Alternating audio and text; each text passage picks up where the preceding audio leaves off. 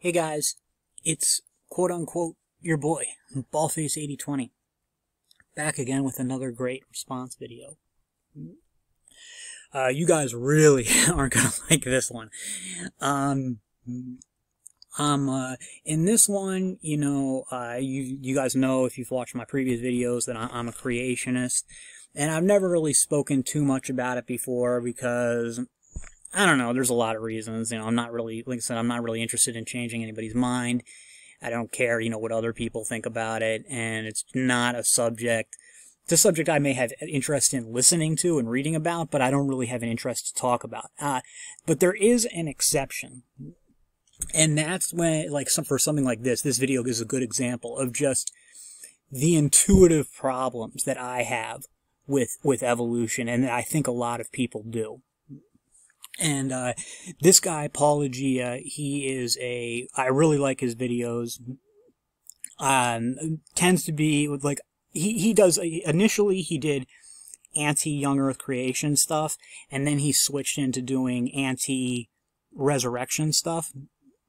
I've watched some of his anti Young Earth creation, but not very very little, relatively speaking. And uh, but I've watched a good amount of his anti resurrection stuff, and um you know, so me, obviously, I'm Jewish, I'm not Christian. Um, I usually agree with him on, um, on like what he says, like when he's debating Christian apologists about the resurrection. And I've talked about this before. It's because the, uh, it's not because necessarily because he's such a great debater or anything.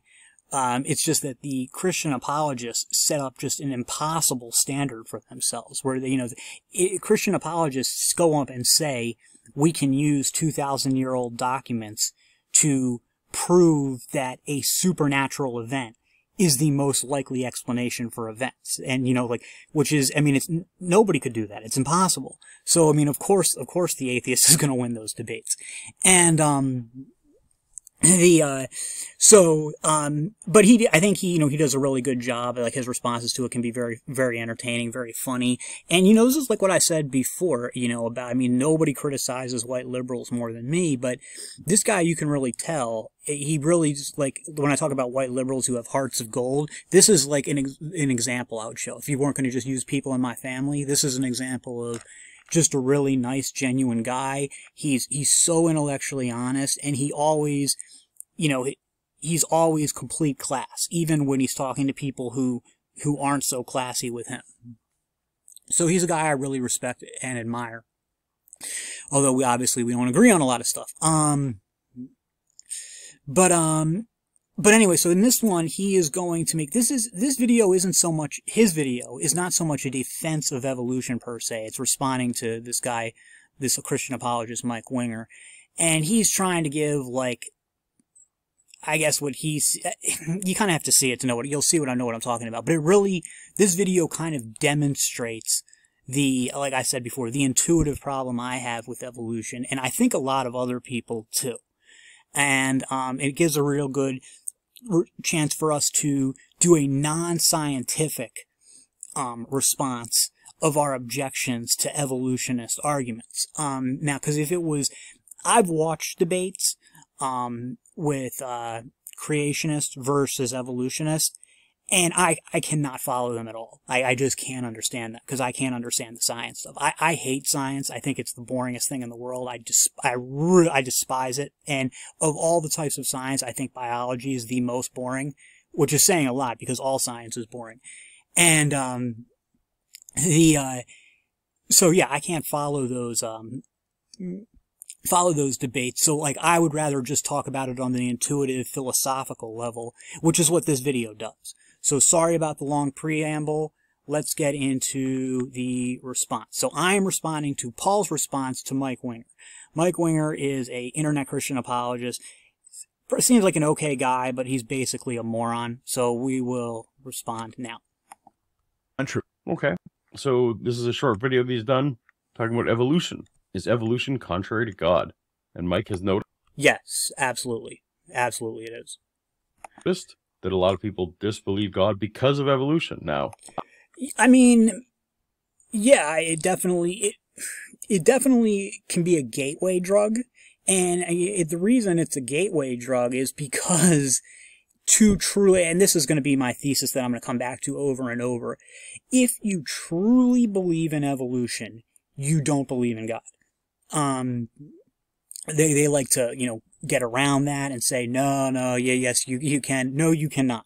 If you truly believe in evolution, the real, so if you believe in God and believe in evolution, I mean, I don't think you're lying, but you're you're deluded or mistaken because it either means you don't really believe in God or you more likely is you don't really understand evolution.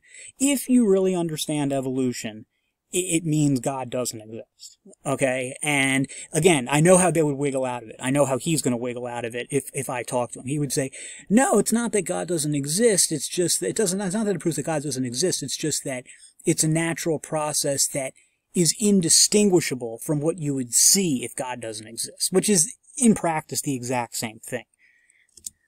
I famously made a video. My very first video on this channel was Ken Ham made me an atheist. Now that's kind of a joke because it's a it's a bit of an oversimplification of what happened, obviously, but it's it's nice for rhetoric. I didn't when I came to accept that evolution was real, was a scientific fact, and also that the theory of evolution the scientific theory of biological evolution had incredible explanatory power. Both of those things are correct. I didn't abandon my Christianity because of that. Well, okay, okay, and that was a mistake. You should have, because if you really, or, or you didn't really believe in evolution, you know. Um, so I mean, so you're, it's kind of both things. So first of all, you're admitting it was the gateway drug, and um, second, you're saying that um, Sorry about this. I got like a sneeze that I can't decide if it wants to come out or not. But second, what you're saying doesn't make sense. Doesn't make sense because if you really had had time, I mean, what probably happened is if you if you're going to be honest, is you didn't really think about it.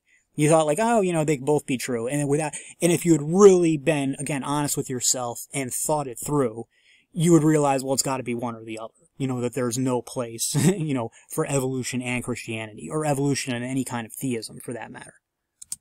Specifically, it just set me on a journey of trying to figure out what in the Bible I could trust or what I couldn't trust. I don't think that Mike has phrased this correctly that people, as soon as they come to accept evolution, that they immediately reject God. Obviously, there's theistic evolutionists all over the place. A lot of. Um, Okay, well, first of all, what he said about theistic, theistic evolutionists, that's what, that's what the evolutionists always say. They always try to do this. Say like, oh, no, no, no, you can believe in evolution and still believe in God. And going back to it, no, you can't. No, you can't. Not, not if it's, if, again, no. It's not real. It's not really evolution then. If you believe in evol, if you really believe in evolution and really believe in God, you don't, you don't believe in evolution. You believe in some form of intelligent design. Now, you may not have the balls to come out and say that because you know that you're going to be shouted down. Um, but that's secretly what you're going to think. And that's what I think pretty much every every theistic evolutionist is really an intelligent design proponent. They just don't want to come out and say it. Um, what was the second thing he said? That it's going to make people disbelieve in God. Well, I guess by itself, not necessarily, you know, because like I said, what, what, what, people do is just compartmentalize in their secret, you know, their secret, I you know, intelligent design proponents. But, um, you know, even to themselves, they don't admit it. But, um, they, uh, and for the record, I'm not an intelligent design proponent. I'm a creation, I'm a creationist. Um, they um but I mean it is it is important to be to know like what I said about it being the gateway drug. I mean to like if you see, you know, committed atheists and there's like 99.99% of atheists are just, you know, it's not a big deal to them. They, I mean, they don't believe because they don't believe and that's that. But I'm, about, I'm talking about the people who like take atheism, like treat atheism like it's their religion. Like, the, the like the most important thing to them in their religion is evolution. They like are really passionate about it. And, you know, I mean, and then when you had, you know, um, you know, in this, in today, I mean, like, you know, you'll see, like, anything with anything associated with atheism, and it's been like this for a long time, they tend to make a huge deal about evolution. It's something they really care about. So it's definitely, there's definitely a correlation there. Christians believe in evolution, so those those don't go hand in hand. They're not real Christians, or they don't really believe in evolution. Uh, I don't think they're causal, but what evolution, of course, does allow is it is a very natural way of looking at things and figuring out that the things that we used to think that we needed God to explain, we no longer need God to explain. Evolution is one of those things. Yeah, so I mean, I'm I'm not against uh, scientific inquiry. I mean, I don't want to hear about it because it's boring. But the uh, the uh, that's a good thing. You know, if you can if you can find, you know, God did it is generally not an acceptable explanation, and um, the uh, it's not it's not good for people. You know, the um, it's not you know you're going to have a higher standard of living if you know you do you know explore stuff and don't, don't just stop it you know god did it uh, for you know for everything that you can't explain right away and so yeah that's um I mean, I, I guess he's. I don't. I don't really, like I said, I don't know a lot about the science behind evolution, but I'm. Yeah, I'm sure that's. I'm sure that's true.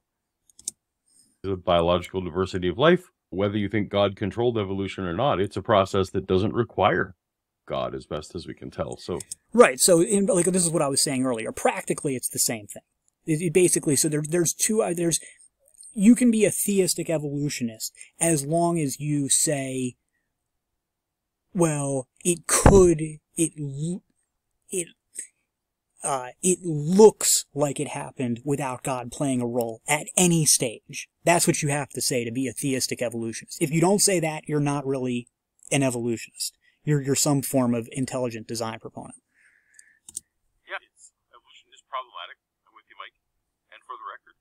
Actually doesn't accept evolution, but his argument today is that even if the thing he doesn't think is true is true, that's evidence for God. Because, of course, everything is evidence for God. Yeah, yeah, Mike's, Mike's an idiot, but, and the, what he's saying here is, Actually, you know what? I, I do kind of know what, what Mike is saying here. I, it's not an argument I would have made. Basically, Mike, who I'm assuming is some kind of old Earth creationist, well, you know what? We'll let Mike speak for himself.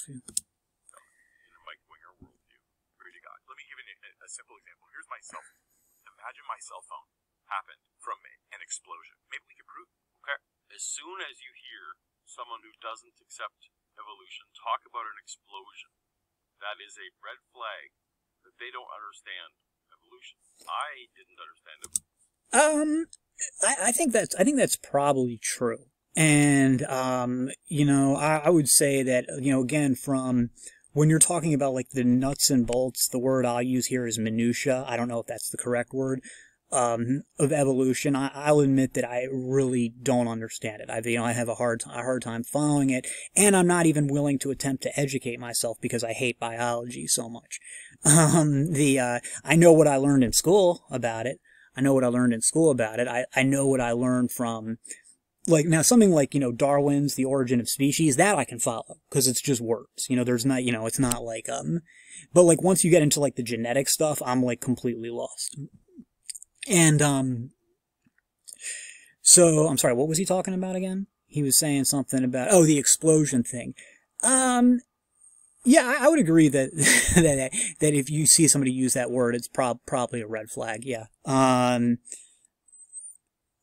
I mean, but I mean, that they, yeah. I mean, I, I think what he says says there is fair.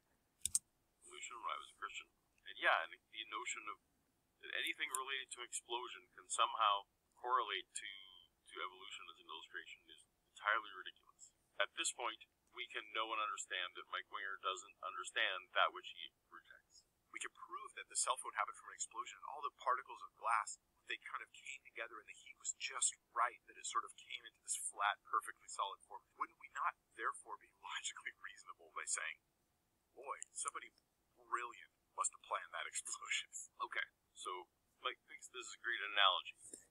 it's it's a pretty good one. An explosion happened, the glass mm. heated and coalesced and, and formed into his cell phone, and there and therefore you would we're gonna set aside for a minute that that's nothing like what evolution would describe. No, you're you're wrong. You're you're wrong. It's it's a lot like evolution would describe. Because basically, what what Mike is saying, the only difference is that Mike's example is inorganic, and your example, the first cell, is organic.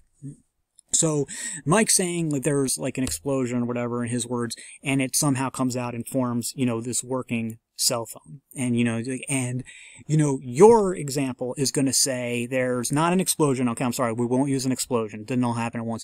But slowly over millions, billions, I don't even know how many years, a bunch of inorganic particles are going to merge together and become a living cell, which is not just more complex than a cell phone, but possibly infinitely more complex because we can create a cell phone. We can't create a single cell out of in- inorganic materials.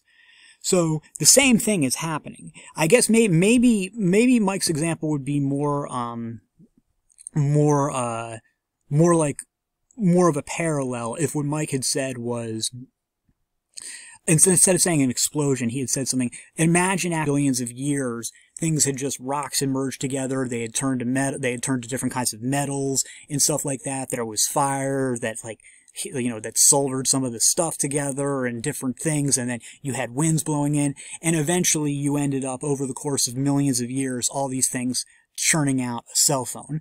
That would be more like, you know, whatever, because that's what you're saying, except the difference is instead of a cell phone, you're saying a bunch of inorganic chemicals came together and formed a single cell. Now, I want to say something very important here. I 100% concede, and I because I feel the exact same way, that, you know, seeing this happen with an organic material, like an organic thing, like a cell, is is infinitely more intuitive than for a cell phone. Because, like, obviously anybody can think about it and just dismiss the cell phone. That a cell phone could just randomly come into existence from its random events. We obviously, everybody can just intuitively dismiss that. And that's not, that's certainly not how I feel about a single cell. I, I absolutely feel like the single cell is is totally plausible that the the evolutionist create the evolutionist argument that inorganic materials over the course again millions billions I don't even know how many years come together and form this living cell. I agree that that it's intuitively it's totally plausible.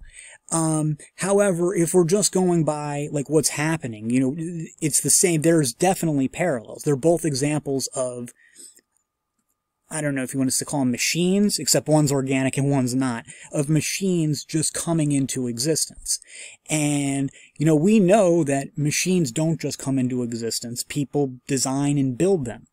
So, that would be the theistic rejection of this idea that a living cell would just come into existence, which is something that people haven't figured out how to build yet.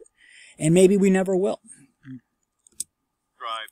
Mike then wants to say, well, wouldn't the designer of that explosion be amazing? Yes, it would. Now, we could actually even set the explosion aside. Let's say that the year is 1700, and the smartest human on Earth in 1700 walked out of his log cabin and had a modern iPhone, Samsung Galaxy something, had a modern phone. That also wouldn't explain things because, again, that that would be someone godlike, but he would have invented something useless. The phone, which we know was intelligently designed, happened step by step, right? We had the very first telephones, uh, Alexander Graham Bell and others who, you know, who created first telephone style communication. There was the invention of batteries. There was the invention of harnessing radio waves. There were invention of antennas. There was invention of, first of all, just glass well prepared glass, and then eventually touch screens and screens. Like all these things happened separately, iteratively, with intelligent design happening to eventually lead us to the point where the smartest people on Earth could take all of those parts and imagine them together to create a phone. Now, where am I going with this? Thank you. That's ex- where are you going with this? Help us out here. Well, Mike wants to try and say that if God was behind evolution, that it's, it's similar to an explosion that created this final result. Yes, uh, exactly. Although I, I would say that if then in that case it's not really evolution; it's intelligent design. But yes, okay. Even if you want to give God credit for evolution, that is not process that God has done here. It's not that God, Adam showed up on the first day of God created evolution. If God created evolution, if God was guiding it, He still guided the spectrum that was chemistry through to biology, the first molecules, the first proteins, the first RNA, the first DNA, that all still happened slowly. God built on that. Now, God may have set up the Yes, and if God guided, started, he doesn't even have to guide. If God simply set that in motion, it's no longer evolution. And you know it's no longer evolution. You know that that's intelligent design. conditions of the universe that would allow that to happen and maximize that to happen. And then once molecules are replicating, eventually forming cells, eventually forming replication with variation, eventually getting to even sexual reproduction, all these things. But God didn't design an explosion for this to happen. God would have designed a process that would Well, who, who fucking cares about whether there was an explosion or not? So, okay, fine. Take a, get rid of Mike's stupid explosion example. Let's just say the cell phone from natural processes like, you know, like wind, rain, volcanoes, earthquakes, you know, you know, rocks fusing together, metals popping out of the ground, asteroid things, just those over the course of millions of years formed the cell phone. That's what happened. You know, inorganic, that's what formed the cell phone, not just one explosion out of another, because that would be more akin to evolution, I guess. So you're, you're really, it's, you're just bringing up the, the, it's so irrelevant, the explosion example. Like, who, who fucking cares about the explosion? So let's say it's like that. Then that would be a better example. So, you know, so I don't, I don't even understand what you're, why you're making a big deal about this. very slow and entirely natural. Who ca- so so the cell phone thing is slow and natural too. Who fucking cares? What's the difference? and indistinguishable from a natural process. No, see that's that's what I'm trying to say. With the cell phone, even though it happens slowly through natural means, it is still distinguishable from a natural process because we know that there's no way in hell that a cell phone that just random events could have created a working cell phone. That's what Mike is trying to say. That's what everybody's trying to say. And that's what I'm saying. So you, this is like, I think the, um, one of the main hurdles that evolutionists have with convincing, you know, people who don't buy it. And, um, you could have them, like I said, believe all the other scientific stuff, like, yeah, it all started from a single cell, which started from inorganic materials. Yes, it all started 13 billion years ago. Yes, it happened with this and this is, and we could all agree on this. But what you'll never get is a genuine theist to not see that it was, you know, designed, that, that there was design going on. Okay, that's whatever, they might not admit it, but that's what they're gonna think. Is the thing, Mike. We don't see marks of boom, there was an explosion and cells run the scene or humans run the scene or any of that kind of stuff. Like this is just not going to convince your theistic evolutionist friends either. But you know what you're talking. I don't have any theistic evolutionist friends. You know, the thing is, I don't want to convince, I don't want to convince anybody, and I definitely don't want to convince any theistic evolutionists. The theistic evolutionists to me are, are way worse than atheists. That doesn't mean it was an accident. It means it was just even more brilliant. Because not only did they cause it to happen, but they caused it to happen through one act of creation. But I, I don't think it's accurate, but I would absolutely use it as evidence for God. All right. So Mike admits he doesn't think he doesn't think it's accurate. No, I, I would, I would actually agree, uh, I, I think it would, would, um, I'm not sorry, would disagree with what, what Mike said there. I, I I would not use it as evidence for God because I don't think it's intuitive. I like, I think that to me that, again, I think that logically there is a problem. And I, as I've, I've, you know, I hope I've made it, you know, I've at least made clear what I think, even if what you think is bullshit, why it's, logically it's problematic to say that you know these you know inorganic materials can just naturally without any guidance come together and form a living cell something that we can't even do with guidance. Um because but even though that I, even though logically I can't see how that could happen intuitively like in my head I can't see how that can happen but in my heart I do. In my heart it makes total sense to me. So I would not use it as an argument to say that to to to be proof of proof of God. I would not. He clearly doesn't even understand it, but he's going to claim it as evidence. He understands the basic of basics of the initial of the where your position starts, which is that the that these uh, machines that are more complex than anything we have, that anything we can make ourselves formed randomly. Um, which, and, and that's something that we don't see anywhere. We don't have any other examples of machines forming randomly. And the difference is that this is an organic machine, not an inorganic machine. So fair enough. But he's, that's what he's saying. He's saying that like, okay, well, it's still a machine. And just like, so what Mike is saying is just like inorganic machines don't randomly form from natural processes. Um, and if they did, somehow through an explosion was Mike's example, then that would just be, that we would just know that it, it wasn't random, that somebody, some genius designed that explosion for that to happen. Um, just like we know that, well then we, we're, we're, we're going to apply that same logic to organic machines. And it's fine if you don't buy it because I don't really buy it. I don't really buy it. Again, like I said, logically I buy it. Um, intuitively I do not. So, but I mean, don't say that he doesn't understand what your, your position because he does. You don't understand his. for God, because if it did happen, somehow in the weird way that he imagines it would happen, it's evidence for God. I don't disagree. I, I actually think it would be more impressive for God to create through evolution than through the No, I, I disagree. That that's what intelligent design proponents like to say. To as like their cop out. It no, I just I completely. I mean, look, I mean, whatever. you know, you know, uh, you know, if God, assuming that God really did create everything, I don't think he needs. He doesn't need my approval. But um, no, I, I disagree that that's more impressive. I know I strongly disagree with it. Uh, how would that be more impressive? I would see it as way less impressive. story that we're told in Genesis chapters 1 and 2, where he creates you know, all the kinds individually, because it is kind of smarter to set up a system that allows for the diversity, much like, you know, in its own way, if you, if you write software to do a very specific task, say you have Photoshop or you have Google Chrome or you got very specific software for different tasks, that's amazing, that's great. I mean, they were very talented engineers that made that happen. But if we're now we're on this cusp now, where we're actually putting together software with large language models and that, where we don't actually know where it's going to go. And we're we're now we're kind of setting up the parameters which it can it can go on its own and it, evolve in its own way.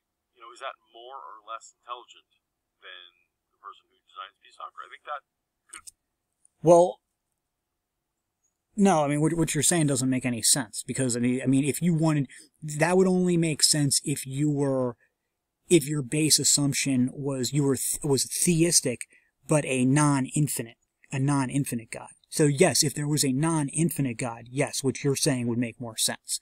That if like he built into it a way that it could kind of direct itself without him, um, then yeah, okay, I agree. That would be um, that that would be well, I mean, it wouldn't be more impressive because, again, if he was infinite, not only would he not need to do it, but logically it would be impossible for him to do it because there would be no, if he's infinite, it would be impossible for anything to happen outside of his will. So I'm, I, I know what you're trying to say, but I, I just don't think it works. debate, which is more or less intelligent. But anyway, all this to say, Mike doesn't understand evolution, but he wants to claim it for God. He, he, underst- he understands what, it, what it's all about. You know, he's on, he understands where it begins and where it's going. And that's all he needs to understand. You know, because he's not trying to be a biologist or anything. So, you know, why do those of us, you know, who aren't interested in science, you know, need to know anything about evolution? We don't, because it's fucking boring. You know, and I go, you know, for all, for all biology stuff. And, um, but no, he absolutely understands the, he understands the philosophy of evolution, the basic philosophy that all the science is built on. And that's all he or anybody else needs to understand about it. That's all for now, and I'll see you in the next.